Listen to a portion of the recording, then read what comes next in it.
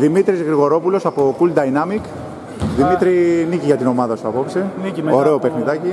Μετά από δύο κακά παιχνίδια είπαμε να παίξουμε λίγο μπάσκετ. Σήμερα η εμφάνιση ήταν. Ε, Εντάξει, τουλάχιστον παλέψαμε στην άμυνα, μπήκαν τα σουτ, ανέβηκε το ηθικό και μπήκαν και τα Και στην επίθεση ήσασταν πολύ καλοί. Ναι, παρότι είχαμε Εδώ- απουσίες, αποδώσαμε.